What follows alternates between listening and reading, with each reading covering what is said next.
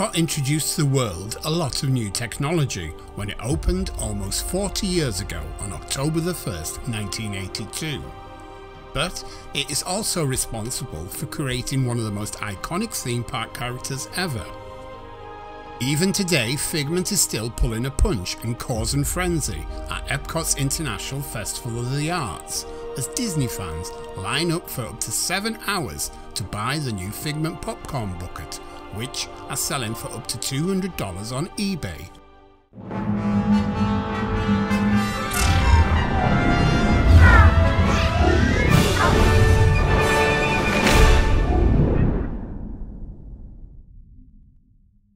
The kind, wise spirit of imagination, with his top hat, beard, and lovable sidekick Figment, Dreamfinder always knew it only took one little spark to kick everybody's imagination into high gear.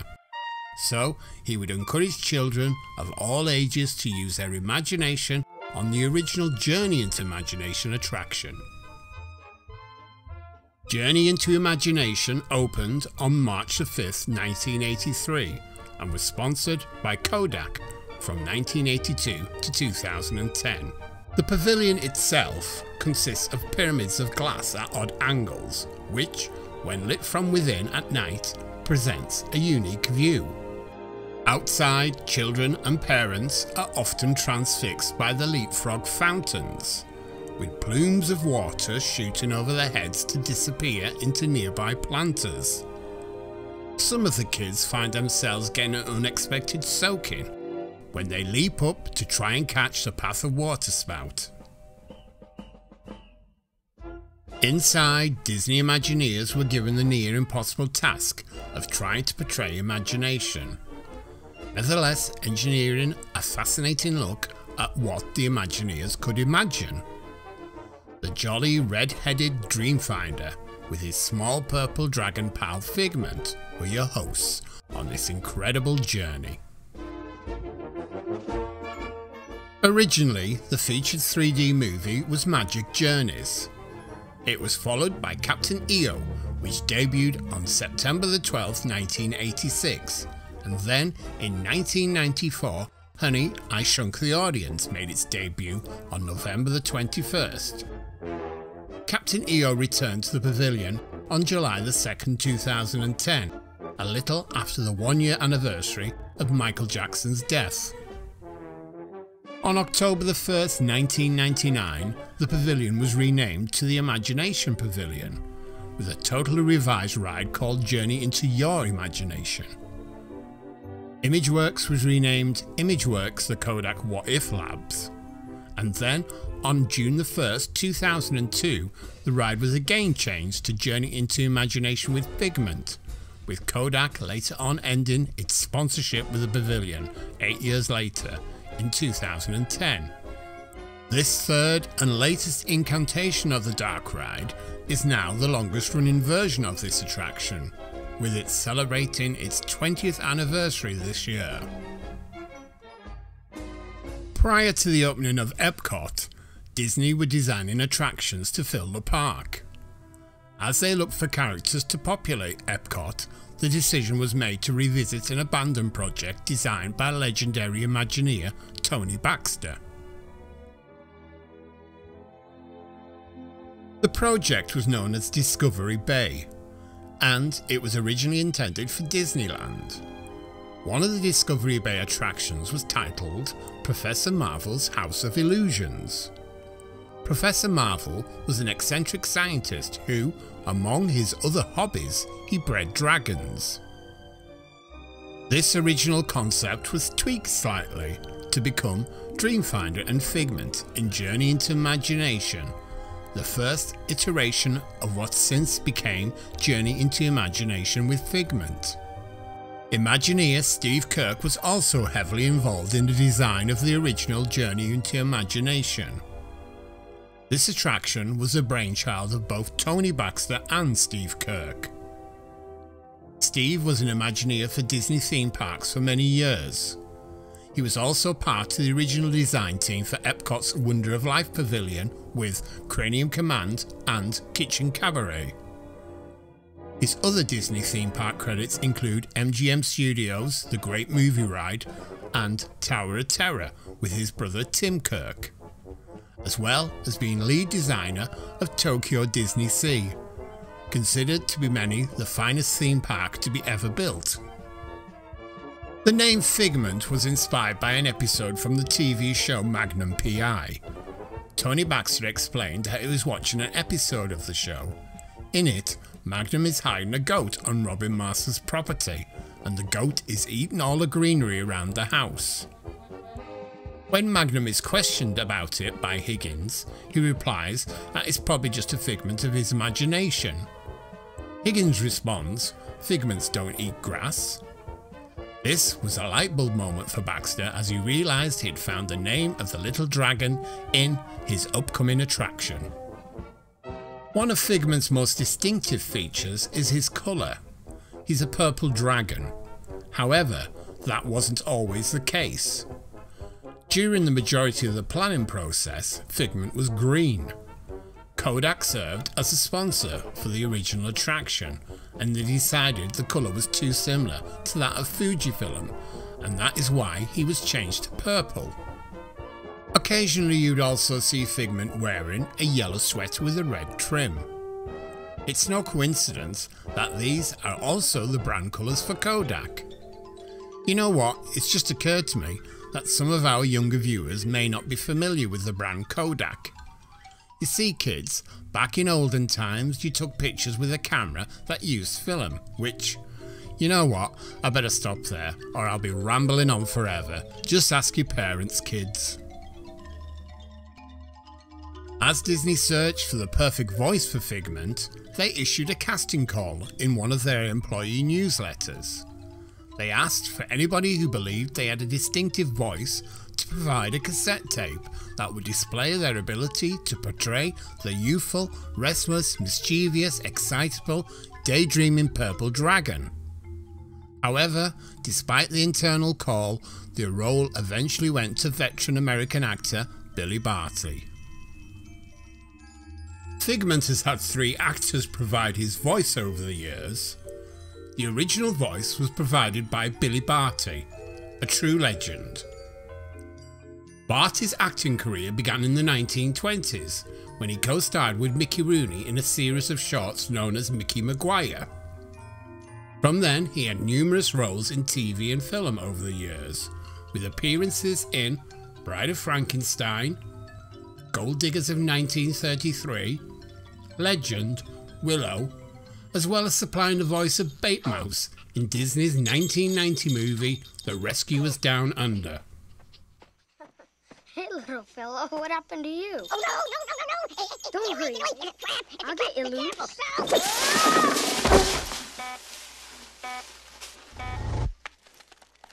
Are you all right? Yeah, I think so. Okie dokie. Wait, hey, come back. In the 1999 version, Journey into Your Imagination, Corey Burton supplied the voice of Figment. And in the current version, Muppeteer Dave Goelz provides a voice, because Barty sadly passed away on December the 23rd, 2000, before the second version had closed. The original attraction began with the Omnimover vehicles, floating in the clouds and seen as silhouette of a strange blip mixed with a vacuum cleaner and hearing the humming and singing of its pilot. In the next scene, the riders come right next to the vessel and the pilot. An old man with a red beard, dressed in a blue suit and a top hat.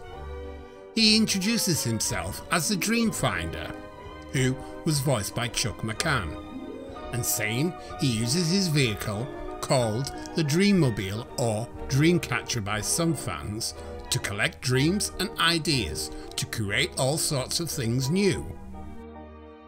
Soon he creates a figment of his imagination.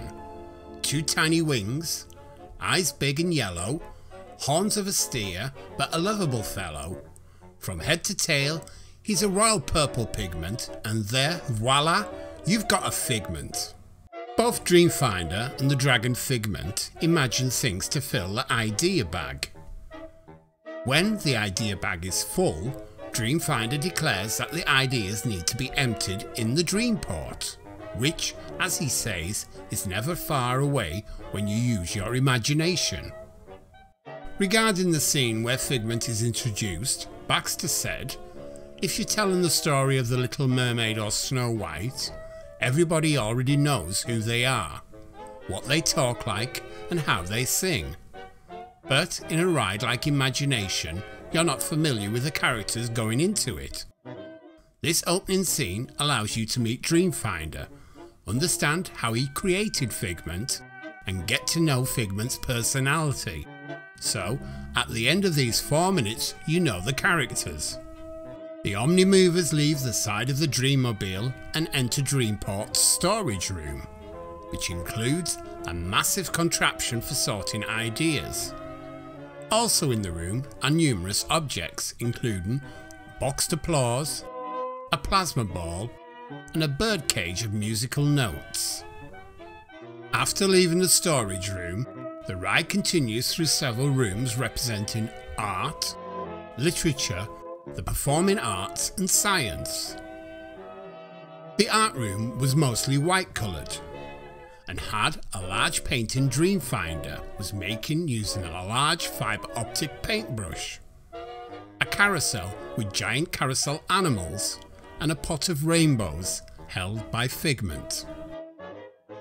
The literature room was mostly focused on suspenseful tales and had Dreamfinder playing a massive organ with words coming out of it. Words that turned into their meanings. A massive book featuring the raven from Edgar Allan Poe's poem Cawing Menacingly, and books about horrible monsters Figment tried to keep closed. The performing arts had Figment trying on costumes backstage, while Dreamfinder conducted a laser show in the manner of an orchestral conductor. The last of the rooms is Science, featuring a large machine that Dreamfinder was operating that took a closer look at the workings of nature such as the growth of plants, the formation of crystals from minerals, and also looking into space. At the end, Dreamfinder told Figment and the audience that imagination is the key to unlocking the hidden wonders of the world. The ride then enters the final show scene.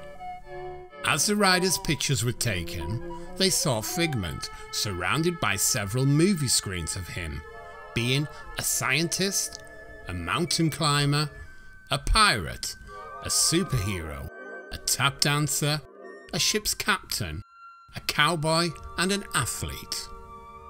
Dreamfinder, who is behind a movie camera, gives the riders one last inspiring message and told them to use their newly found sparks of imagination in the ImageWorks, and the on-ride photo was shown on a screen next to the camera. The ride then exited into ImageWorks, which was meant to be a creative playground of the future. ImageWorks was an interactive playground located above the ride where guests could play with their imaginations. Those activities included interactive exhibits such as a giant kaleidoscope, pin screens, a rainbow corridor, and a drama stage which gave guests the opportunity to put themselves in their own movie. The ImageWorks section of the Imagination Pavilion opened five months before Journey into Imagination. It was a huge hit among guests. Dreamfinder and Figment were an integral part of Epcot Centre until their attraction was closed in October 1998, when corporate sponsors Kodak decided it was time to remove the aging attraction rather than update it. Journey into Your Imagination opened on October 1st, 1999, during what will be likely considered the low point in the history of Walt Disney Imagineering and Disney parks. Exploration. Excitation. From inside a brain In all its gyrations. comes inspiration. Illumination. the Walt Disney World Resort and the Eastman Kodak Company proudly presents a journey into your imagination. Baxter even referred to it as a nightmare during the virtual reception. Guest relations cast members at Walt Disney World were bombarded with complaints from guests on how bad the ride was and how they missed Figment and Dreamfinder dearly. The complaints were so numerous that the ride was closed less than two years later in the fall of 2001 and then Imagineers were tasked with fixing a ride on a very limited budget. Fast forward to June the 2nd, 2002, Journey into Imagination with Figment opened and the building is now known as the Imagination Pavilion. Guests were overjoyed to see Figment return home and to hear the classic One Little Spark theme reinstated. Guests can now explore their five senses, with Figment leading guests throughout their journey into the imagination of Dr. Channing's sensory lab. After the attraction, guests discover the ImageWorks, the What If Labs, an interactive play area based on all the senses. Also today, guests can visit ImageWorks for Figment themed merchandise, from plushes to apparel and more. However, this third version of the attraction always felt like a temporary fix until something better could be drawn up. That was 2002 and it is now 2022 and this ride is still open. In fact, it has become the longest running attraction to ever occupy the space, even outliving the original attraction. Baxter has been called back to work as creative advisor for the Princess and the Frog overlay of Splash Mountain, and he seems eager to work on another overhaul. He has also brought up the possibility of doing a feature-length animated movie starring Figment. Back in early September of 2021, an episode of One Day at Disney showed an interesting project between Studio Lab and the Walt Disney Animation Studios, with sculptures working on various clay and digital maquettes of Figment. Back in the 1980s, a set of Figment educational cartoons which were planned and piloted but were never launched. So, Baxter's fantastical idea may not be far out of reach, especially with the company's increased focus on streaming. I wouldn't mind settling down to watch a Figment movie on Disney Plus. How about you? In a historic moment, Epcot has now changed the park layout, getting rid of Future World and creating four district neighbourhoods to further organise the park. The name changes officially happened on October the 1st, 2021, right in time for Walt Disney World's 50th anniversary celebration. The new neighbourhood's name for this section now is World Nature, and it is also the home of other favourite attractions such as Soarin', Living with the Land, and The Seas with Nemo and Friends. And on a last note, it is still possible to see remnants of the original Journey into Imagination Dark Ride today at Epcot. The original area music for the Imagination Pavilion can still be heard in the bathrooms located at the side of the pavilion. Instead of heading into the main attraction, guests can walk to the right hand side and around to the rear of the building to find a quiet and often overlooked restroom with low foot traffic and charming music from the attraction. This restroom is always clean and calm.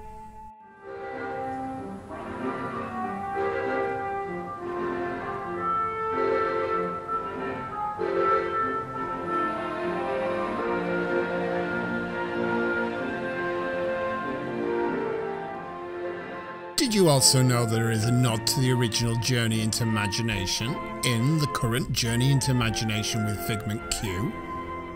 The plasma orbs from the Dreamport can be found on some ride theming shelves located halfway through the queue, as well as a very subtle reference to Dreamfinder with the name Deanfinder, which can be found on one of the office doors.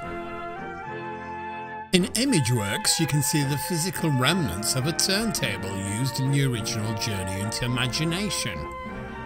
You can also feel parts of the original track in the floor if your feet are sensitive enough. It may be hard to hear with all the young imaginations running wild at Imageworks, but the original Journey into Imagination audio is used as a backing to all the instrument based exhibits, without the vocals, of course. In the Disney and Pixar Short Film Festival, you can still find where Journey into Imagination and the Magic Eye Theatre used to connect. It has since been blocked off and become a dead end.